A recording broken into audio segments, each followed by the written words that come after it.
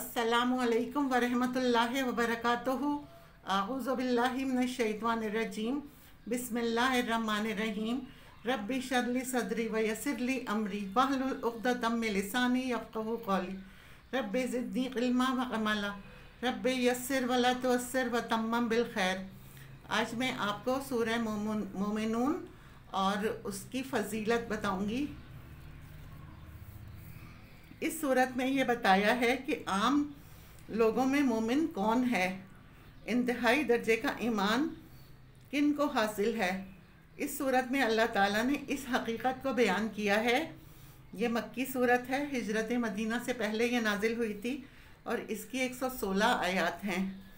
इसमें अल्लाह ताला ने मोमिनों की तेरह सिफ़ात बयान की हैं। इसमें दो सिफ़ात का ताल्लुक़ आख, आखरत के साथ है। इन्हें जन्नत में होते हुए वो सिफ्त हासिल होंगी। अल्लाह अकबर। ग्यारह सिफ़ात जो हैं, वो दुनिया में ईमान वालों के अंदर मौजूद हैं। तो वो मोमिन हैं। यानी ग्यारह सिफ़ात ईमान वालों में मौजूद हों, तब वो जाकर मोमिन हैं। तो आम ईमान वालों में इनका मर्तबा बुलंद है, क्योंकि अल्लाह ताला ने अपनी मार्फत के लिए दुनिया में दो ज़रिए रखे हैं। एक इंसान की ज़ात, दूसरी अल्लाह की कायनात। इंसान अपनी ज़ात के अंदर जब गौर फ़िक्र करता है तो अल्लाह के अजायबात को चूमे बगैर नहीं रह सकता कि अल्लाह ने मेरी ज़ात बनाई है। कैसे अल्लाह ताला ने इंसान को ढाला है? कैसे एक एक बाल को अल्लाह ने इंसान की बॉडी के अंदर संवारा है? तो वो ये देखकर झूम उठता है और अपनी ज़ात को देखकर अपनी ज़ात के खालिक को वो पा लेता है।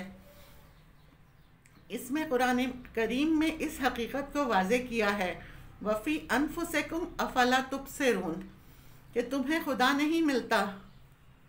खुदा उन्हें मिलता है इधर उधर ढूँढने से नहीं। तो अपनी ज़ात के अंदर गौर करो। अपनी ज़ात को देखोगे तो खुदा को पालोगे। तुम्हारी ज़ात अल्लाह ने ऐसी बनाई है, वो ख़ुद पता देती है कि इसके बनाने वाला बड़ा बाकमाल है। दूसरी है रब की कायनात। इंसान जब गौर करता है, आसमानों की बुलंदी, ज़मीन की वसतें, मौजों की हैबत, दरियाओं का वक़ार, जब वो उसे देखता है और गौर करता है तो अल्लाह तबारक व ताली की ज़ात के सामने झूमे बगैर नहीं रह सकता। और समझ जाता है कि इसका बनाने वाला कोई है। जैसे सूरज अपनी मर्ज़ी से ना निकलता है और ना गुरूब होता है चाँद सूरज सितारों की ये झिलमिलाहट जो है ये किसी मंशा किसी की मंशा पर है। ये अपनी मर्ज़ी से ये सब कुछ नहीं हो रहा। ये बादलों की गरज है बिजली की कड़क है ज़रूर पीछे है जो सब कुछ चला रहा है। वो कायनात को देखकर खुदा को पा, पाता है।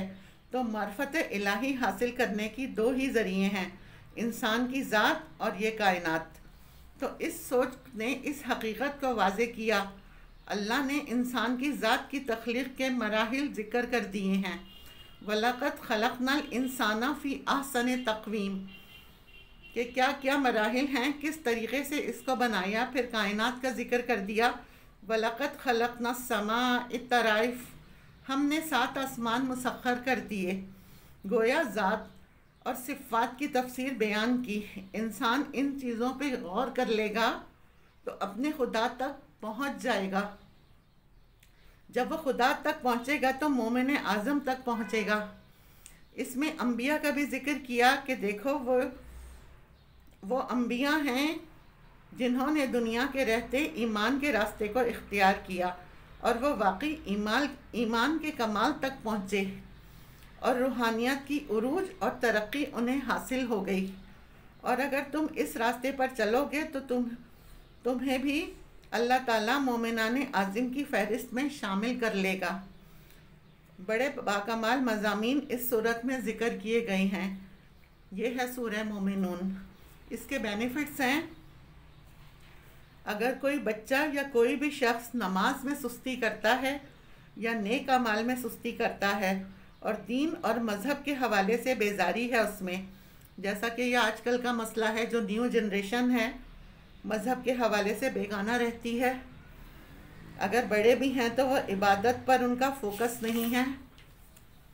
तो सूरह मोमिनून में यह कमाल है कि इसकी तिलावत करके पानी पे दम कर कर अगर पिलाया जाए, उनके खाने पीने की चीज़ों पर फूंक मार दी जाए तो अल्लाह ताला सबको नमाजी बना देते हैं और इबादत का शौक़ उनके अंदर पैदा हो जाएगा। ये मुसलसल इकतालीस दिन कर लें। इन इसमें ज़बरदस्त तासीर है। इस अमल से घर में नमाज़ का माहौल बन जाएगा। रोज़ाना एक मरतबा पढ़कर पानी पर दम करें। किचन के मसालों के डब्बों वगैरह पर भी अगर दम कर लें तो अच्छा है। अल्लाह ताला कबूल करने वाले हैं। अगर कोई शराबी है, नशे की आदत है, जुआ का शौकीन है और हराम कारियों में पड़ा हुआ है मर्द हो या औरत, इसमें इफ़्फ़त और पाकदामनी पैदा करनी है तो सूरह मोमिनून में ज़बरदस्त तासीर है। इसका तरीक़ा ये है कि इसको पढ़कर अर्क़ गुलाब जो है उस पर दम कर दिया जाए और अर्क़ गुलाब का एक चम्मच, एक गिलास पानी में मिला लें और मिक्स करके पिलाएँ। इसमें ज़बरदस्त तासीर है। अल्लाह ताला उनके दिल में गुनाहों से नफ़रत पैदा कर देंगे। उनका तस्किया हो जाएगा। और उनके रूहानी क़वत उनमें पैदा होगी और उन गुनाहों से छुटकारा नसीब हो जाएगा। अगर घर में लड़ाई का माहौल रहता है और तंगदस्ती है तो रोज़ाना एक मरतबा तिलावत करके पानी पर दम करें और वो पानी पूरे घर में दीवारों पर छिड़कें। ये इकहत्तर दिन की नीयत से शुरू करें। इन इसमें ज़बरदस्त तासीर है। घर के अंदर खुशहाली आ जाएगी और आपस में मोहब्बत और उल्फत पैदा हो जाएगी। अल्लाह पाक हम सबको इसका अमल करने वाला बनाए। आमीन। वाखिर दावाना हमदुल्ला रबालमीन